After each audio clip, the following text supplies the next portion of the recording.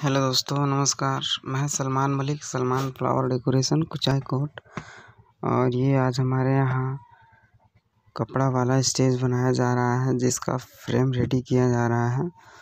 और ये देखिए, ये फ्रेम है, ये बीच में दस फीट होगा, हाइट इसका दस फीट होगा। दोनों साइड में जो साइडर बनेगा, वो आठ फीट में बनेगा।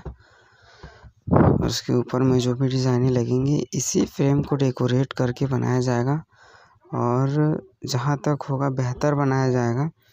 तो डिस्प्ले पे आप लोगों को एक फ़ोटो दिखेगा। ये देखिए, इस सेम इसी, यही स्टेज बनाया जाएगा। इसी फ्रेम पे ये स्टेज तैयार किया गया है। और अगर आप हमारे चैनल पर नए हैं तो चैनल को सब्सक्राइब करें, वीडियो को लाइक करें और कमेंट करें। इसी तरह का लेटेस्ट वीडियो हमारे चैनल पर मिलता रहेगा। Watching for video